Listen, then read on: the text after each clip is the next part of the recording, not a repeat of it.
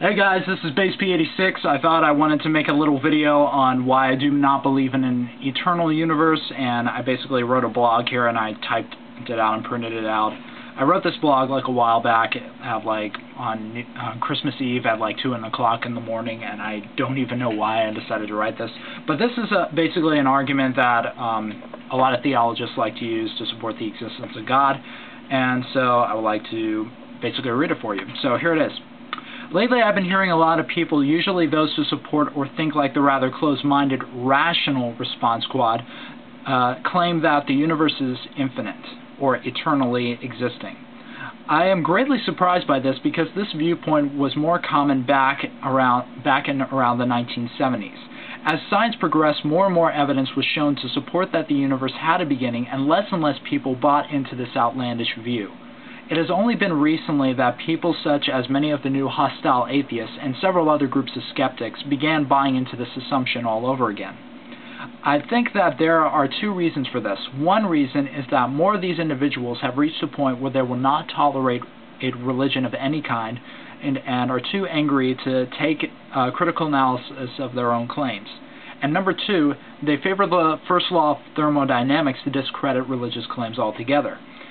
Here I will give increase, the increasingly common objections given by these individuals and in as gently a manner as possible show the flawed logic and lack of evidence these individuals present for their claims.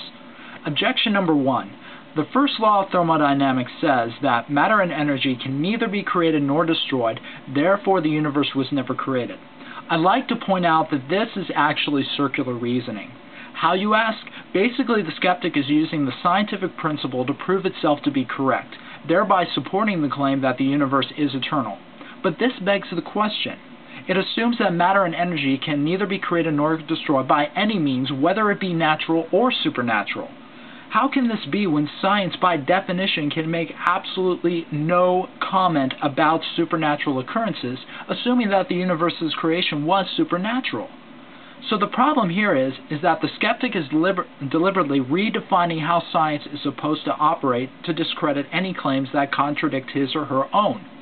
This is a rather dishonest tactic that I see a lot of atheists do. Secondly, the leading experts on cosmology have shifted their views after seeing the evidence for a finite universe. Therefore, if the universe had a beginning, then the skeptic has no choice but to accept that the first law is refer is referring only to natural causes, not both natural and supernatural. Other, oftentimes at this point, skeptics will resort to making other claims like red herrings without e even conceding to their flawed logic. Objection number two. This universe is just one of many universes. Study quantum mechanics and you'll understand. I find that this is somewhat funny that people claim this when they have no evidence to support it. They don't uh, present any evidence. Even if one does study quantum mechanics, the above assertion is left unsupported. This is because quantum mechanics only allows the possibility for the existence of multiple universes, and does not predict their existence whatsoever. Besides, the multiple universe theory, which is an oxymoron, is also a cop-out and does not discredit the proposal of the causation of this universe, because one of the other universes that could have existed before this one could have caused this one into existence. Objection number three. The universe is uncaused, but that doesn't mean that nothing caused it. This is an argument that an atheist presented to me earlier here on YouTube. But this is clearly a contradiction. If the universe was caused by nothing, then logically it is uncaused. This is because both terms nothing and uncaused imply the exact same connotation. The term uncaused negates the act of causation, and the term nothing negates the cause itself. If the skeptic were to argue that the universe couldn't have been created by nothing because if it did, then it did have a cause, then he or she has just negated his or her own argument. By negating the causation of the universe, the skeptic argues that it did not have a cause. However, by negating that the universe was caused by nothing, it automatically assumes the opposite, that it was created by something. Therefore, the skeptic is in a self-defeating position either way because he is denying all possible options. Therefore, the only option is that the skeptic must admit that the universe was caused by something. And those are all the basic objections that I've heard. Um, but here's some more side notes that I put down. One of the most obvious reasons as to why the universe could not be eternal is the logical problem with infinite time. if the universe is eternal, then logically time is eternal as well. This further assumes that that there was an infinite number of events that occurred before and after the present. However, the problem is if that if there is an infinite number of events that occurred before the present, then logically you will never reach the present. Let me give you an example. Let's say I have an infinite number of dominoes, and out of those dominoes I label one of them X. I have an infinite, endless, or endless number of dominoes before X and infinite numbers of dominoes after X. If I were to have an endless number of dominoes fall before X, then logically X will never fall over because the uh, number of dominoes before it is endless by definition. And if that endless number of dominoes reached X, then logically it would no longer be endless. Now apply this same logic to the reality of time and you'll realize that the eternal time proposition is impossible in actuality. There is no sufficient reason to claim or even think that the universe is eternal. Furthermore, the scientific evidence we have to support a cause, a cause universe tells us that time, space, and matter all began to exist simultaneously. Therefore, if the universe were caused, then logically no other universe could exist prior to such an event.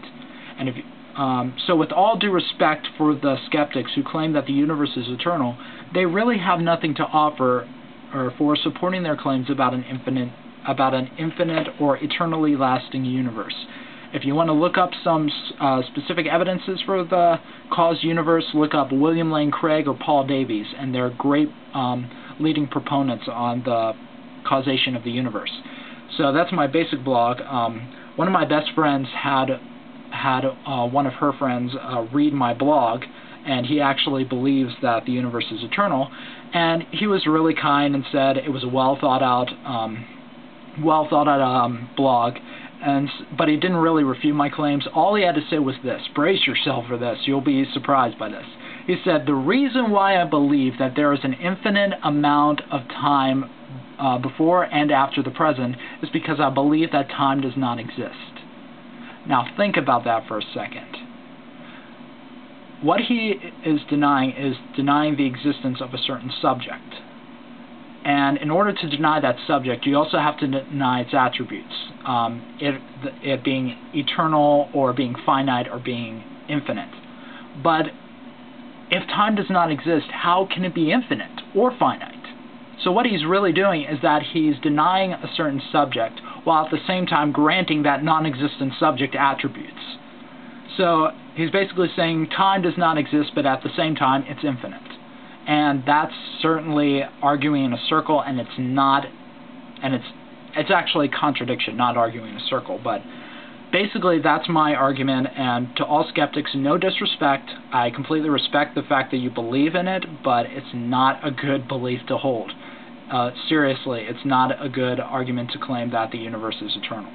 So that's my basic video. So if you guys want, please comment and subscribe to my channel. I really appreciate it. So you guys take care, and I hope to see you next time. So take care. This is Base P86.